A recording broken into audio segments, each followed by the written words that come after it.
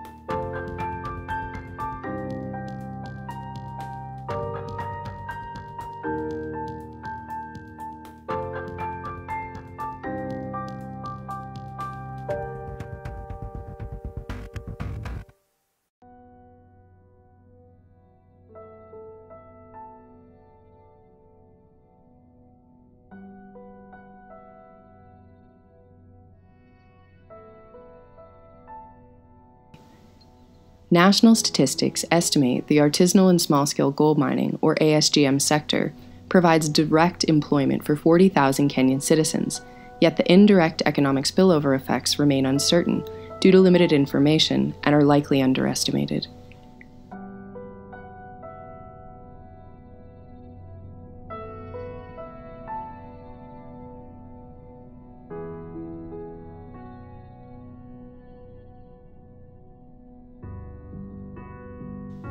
In Migori, the ASGM sector provides an essential livelihood for women, men, and youth. At the local level, gold mining represents the single most important source of income in areas where economic alternatives are critically limited.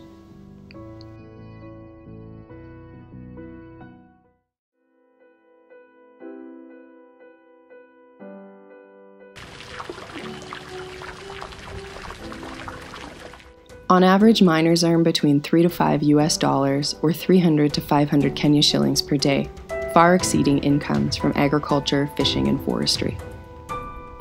In many rural villages, ASGM provides wage creation opportunities for miners and their families, driving thriving secondary economies for local entrepreneurs and business owners.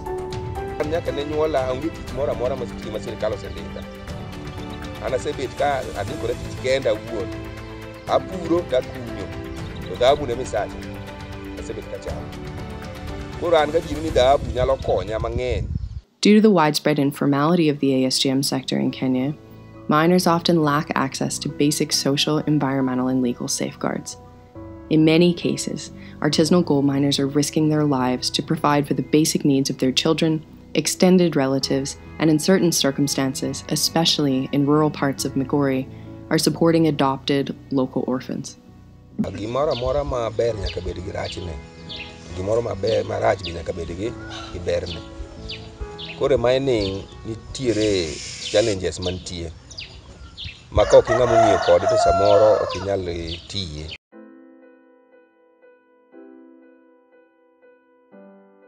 At any scale, gold mining is a risky activity from an economic and environmental standpoint.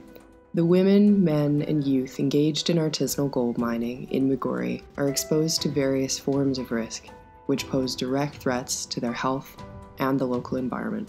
Major risks include occupational health and safety hazards in underground mines, poor ventilation, and pit collapse, which in extreme cases results in loss of human life.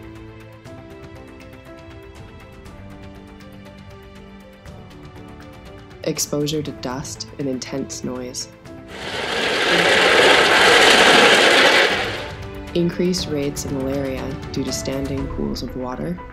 Chronic exposure to toxic chemicals, most seriously mercury and cyanide, pose severe health risks to local and regional communities, especially when chemicals enter surface and groundwater. Mercury is a potent neurotoxin that not only endangers human health, but can bioaccumulate to harmful levels in wildlife, especially fish in river and lake ecosystems. Mercury is readily available, but an inefficient way to recover gold from its whole or concentrated ores. Miners often lose the majority of gold to their tailings during mercury amalgamation.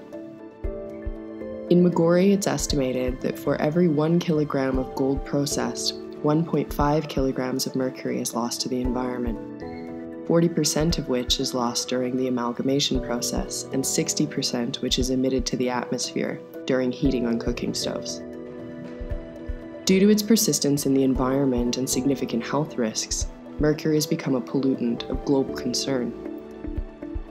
The Minamata Convention on Mercury is an international treaty to protect human health and the global environment from the adverse impacts of mercury. Kenya became a signatory to the Minamata Convention in 2013 which has the objective to reduce and, where feasible, eliminate mercury use from key industrial sectors. The world's largest source of mercury emissions comes from the ASGM sector, which accounts for at least 37% of total atmospheric emissions. Article 7 of the Convention targets ASGM directly and highlights worst practices or actions to eliminate.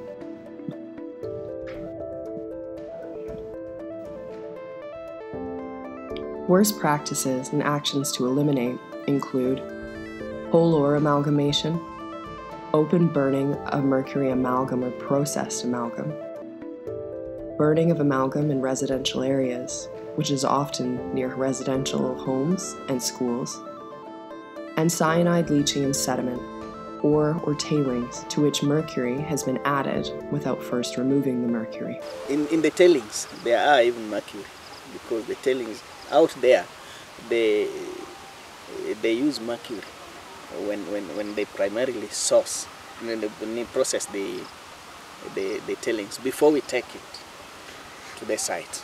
So it contains mercury as well. At the same time when we bring it here we use uh, cyanide.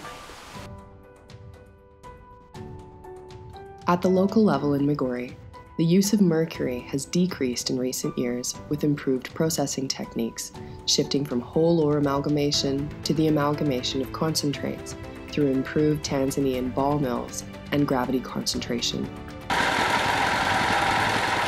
In 2003, Tanzanian ball mill technology was introduced by the Migori County Artisanal Miners Cooperative Society to improve mining profits.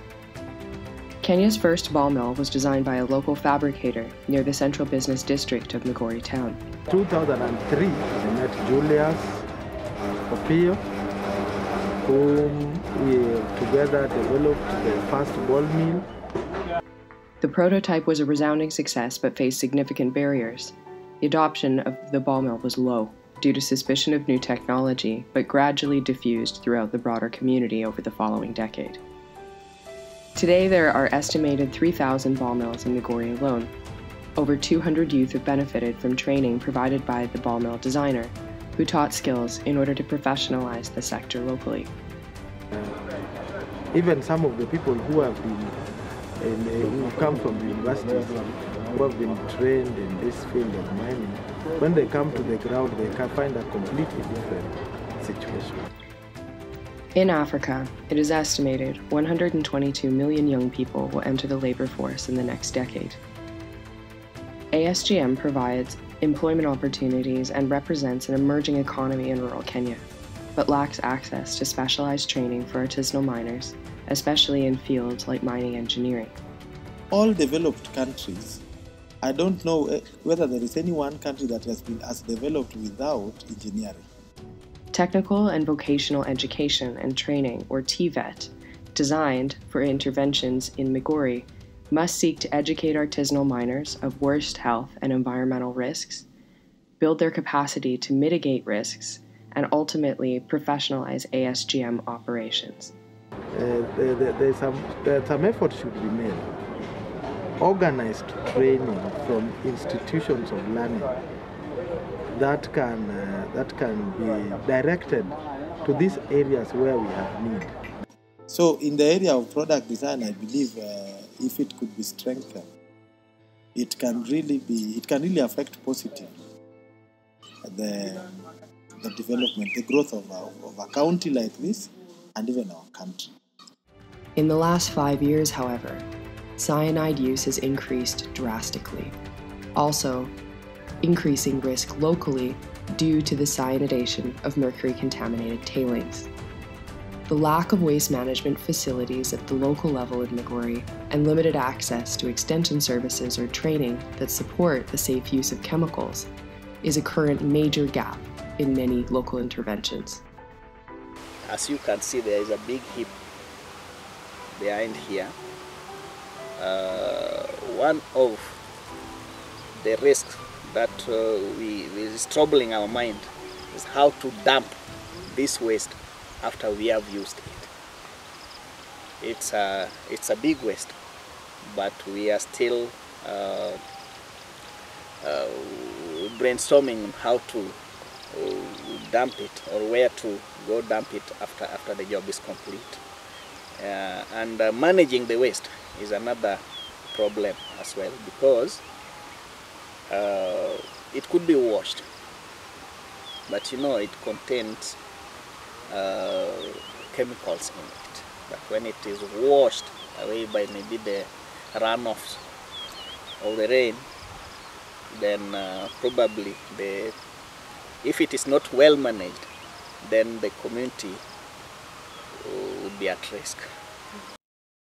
The convention also includes important provisions to promote steps to facilitate formalization or regulation of the sector, and strategies to prevent the exposure of vulnerable populations, particularly children, women of childbearing age, and especially pregnant women, to exposure of mercury during ASGM processes. Due to the gender division of labor in Migori, women are primarily involved in the washing, processing of ore, and mercury amalgamation of gold concentrates. This creates a disproportionate health burden, especially for women of childbearing age. Despite the critical and essential role of ASGM in the local economy, informal mining operations can severely impact the natural resource bases upon which rural communities depend including water, air, and soil quality. In certain cases, artisanal miners are aware of these risks, but they choose to stay in the sector as it provides indispensable income for their families.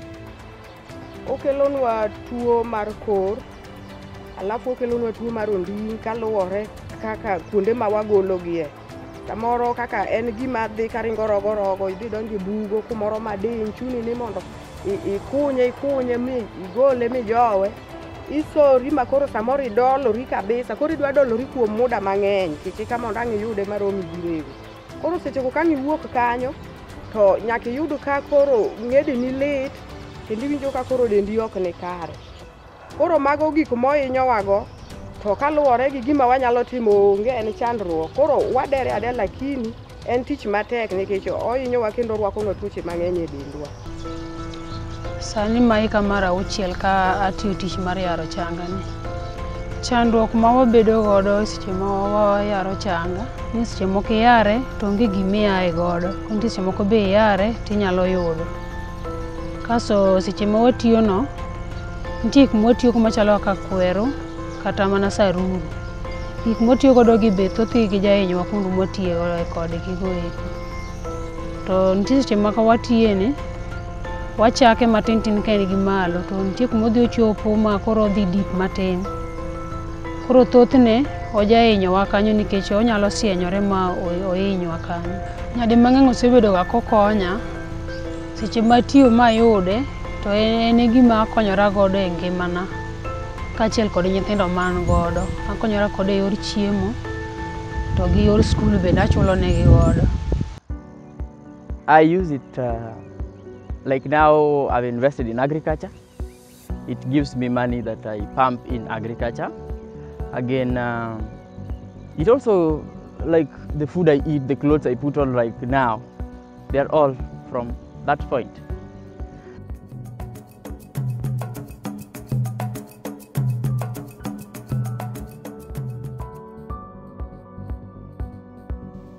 Globally, Sub Saharan Africa accounts for half of the world's out of school children. Rubber one centimeter cube. So centimeter cube cancels centimeter cube. You have 300 times 1 milliliter, you get?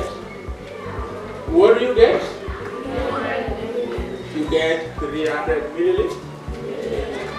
and lags behind in many important areas of education, hindering socioeconomic development at the local level. The negative effects of mining in this area is that most of the pupils are orphans because their parents are just working there, but they lack skills. Yeah, they are not. They were not educated on how to uh, undergo the process of mining, so they are just going there. Uh, when the holes or the pits collapse, then a number of parents have passed away. In Migori County, the contribution of ASGM to the education sector has been recognized. The gold mining sector contributes substantially to education through infrastructure development of schools, and miners use the proceeds from artisanal mining to finance the education of their children. Mining has contributed positively in that uh, it has led to construction of new classrooms new facilities in the school. Secondly, it has empowered the parents and this has improved the living standards of the parents and this has enabled the learners or the parents to pay the school levies that are required for the school fees. pesa masebet kayudo dhahabu asepuonjogo nyithinda nikech nitiere nyithinda adek sani madong' akwan achiel asepuonjo motieko kolej mar ariyo asetieko asepuonjo be motieko form 4 bende dwa dhi e university sani. Mar adek be sani nie form 3 bende ageno ni kodhi maber to biro dhi e university. Koro mago aneno ka gin ber maseneno kuom dhahabu. The parents to provide for the basic needs of the children. The rise in local income due to the widespread adoption of ASGM inside of the last decade has resulted in higher rates of school enrollment in pre primary, which currently stands at approximately 90%. Although the completion rate of primary school is lower at 70%, and the transition to the secondary level is estimated at only 52%. Some students manage to pay their own fee from this very activity.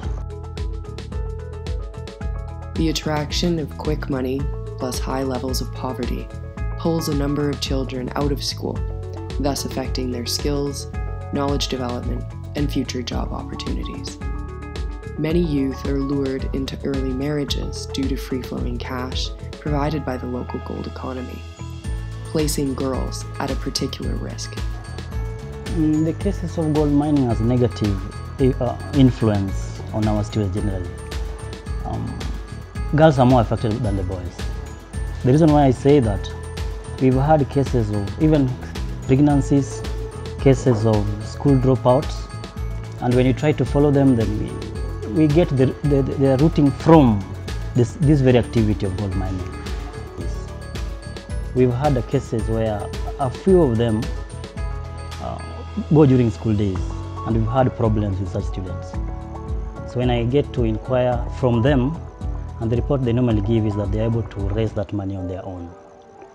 And when I, I, I uh, ask further, they, they try to explain how they manage to go to get the money.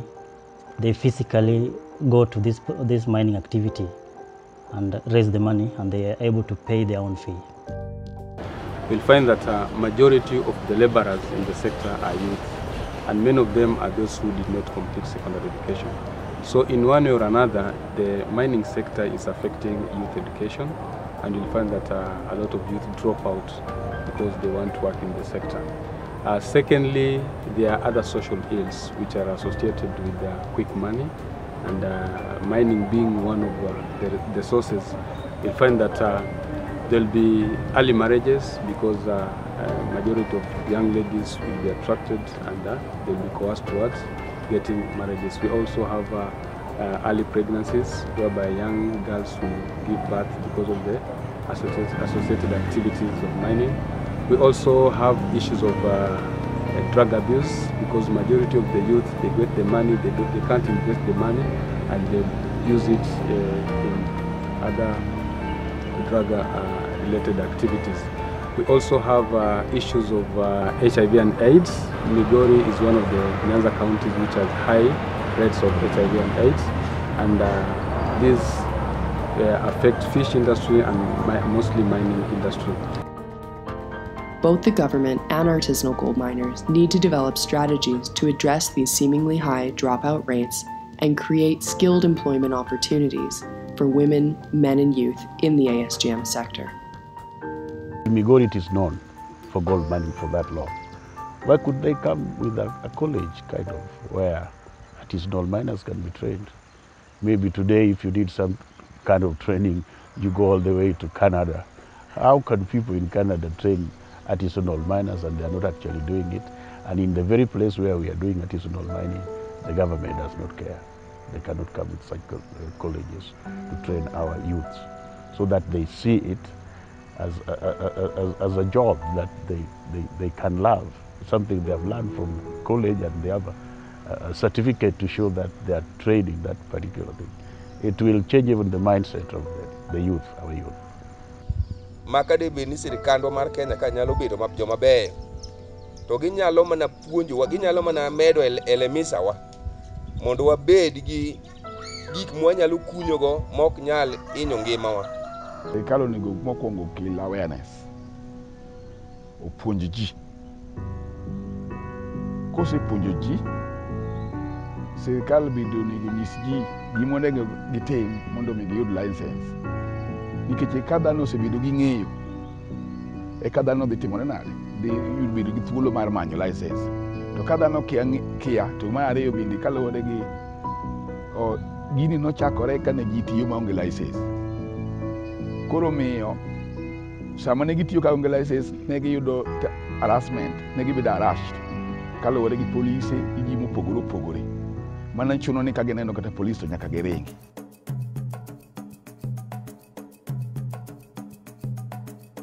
Uh, there's the element of uh, uh, licensing by the government because it's an economic activity that involves land use and uh, the use of natural resources. Somehow the government has got to come in with a policy to ensure that uh, there's an element of licensing of the economic activity. miners fear that if they get uh, legalized, maybe the government is going to tax them, uh, get royalties from them, and this is um, uh, a challenge uh, because uh, the miners don't understand why they need to get formalized. In 2016, the government of Kenya repealed the Colonial Era Mining Act of 1940, which had been in existence for 76 years.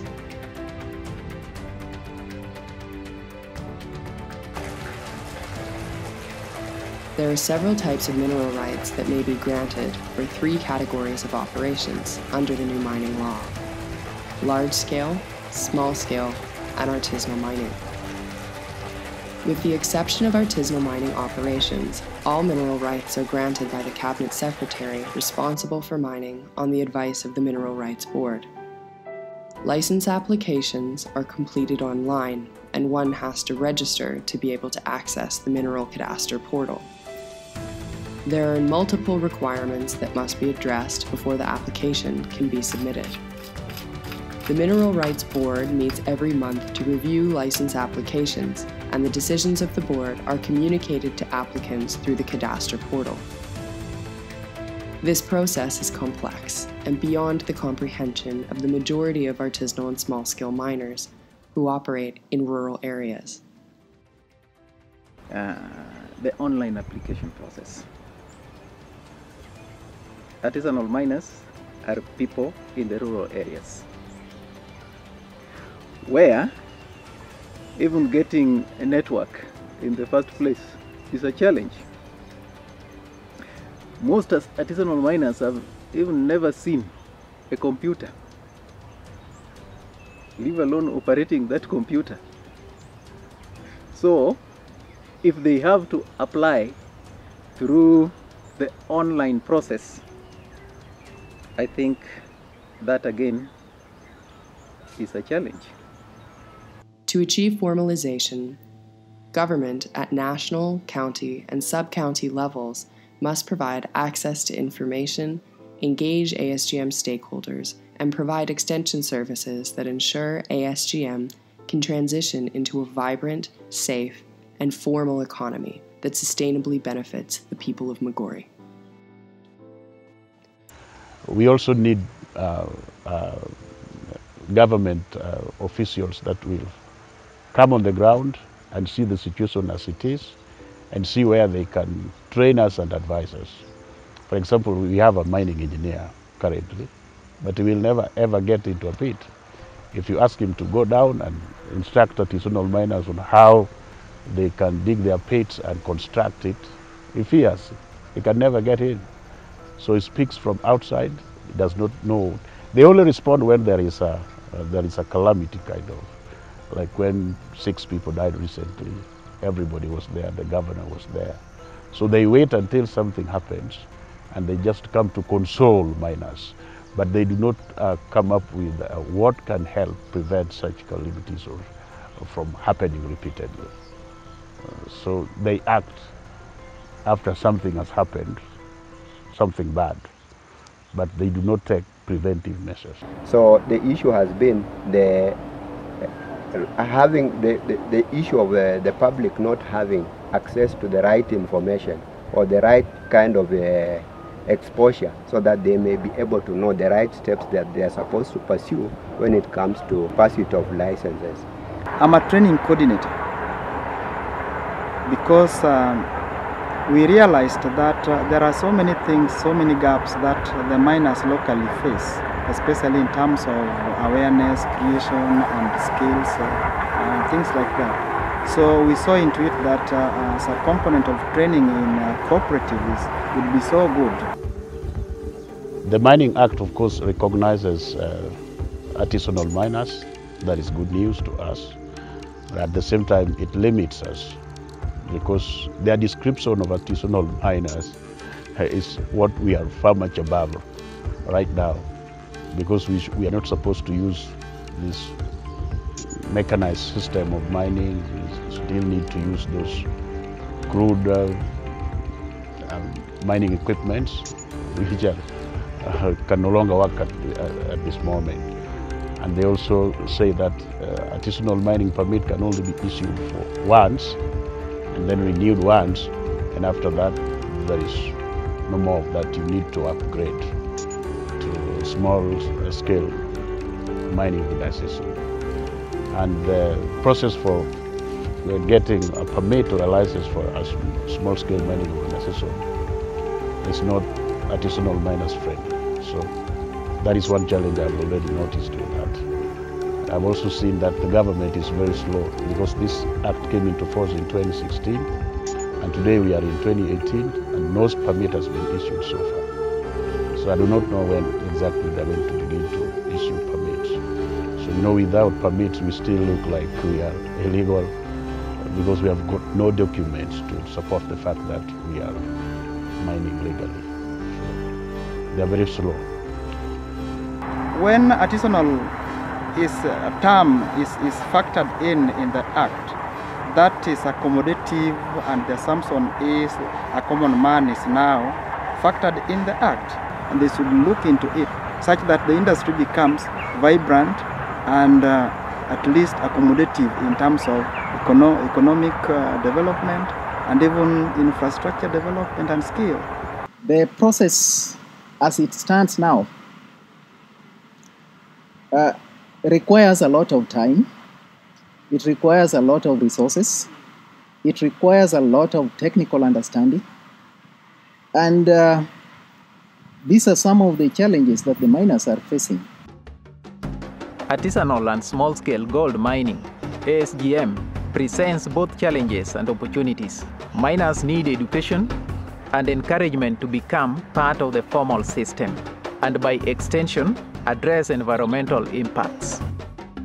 Incentives can include technical and capacity building support, geological data information, training, market-based approaches that allow access to or financing mechanisms, tax abatement, linking ecological and economic concerns. MICA is therefore calling for support from the government of Kenya and development partners to help address the challenges and unlock the sector's potential to spur socio-economic growth.